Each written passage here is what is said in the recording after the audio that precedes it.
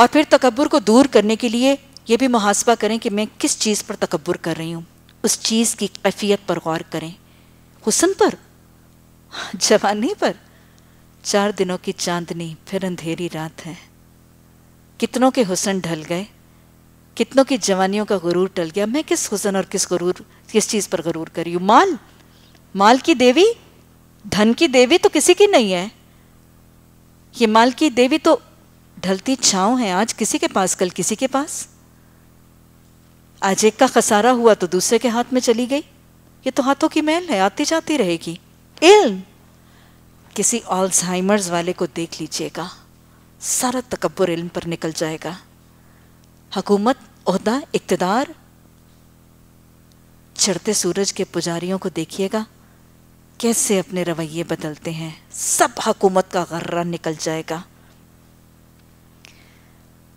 तकबर की बजाय शुक्र को ज़िंदगी में दाखिल कर लीजिए। पाँच चीज़ों का शुक्र पाँच चीज़ों से पहले करो।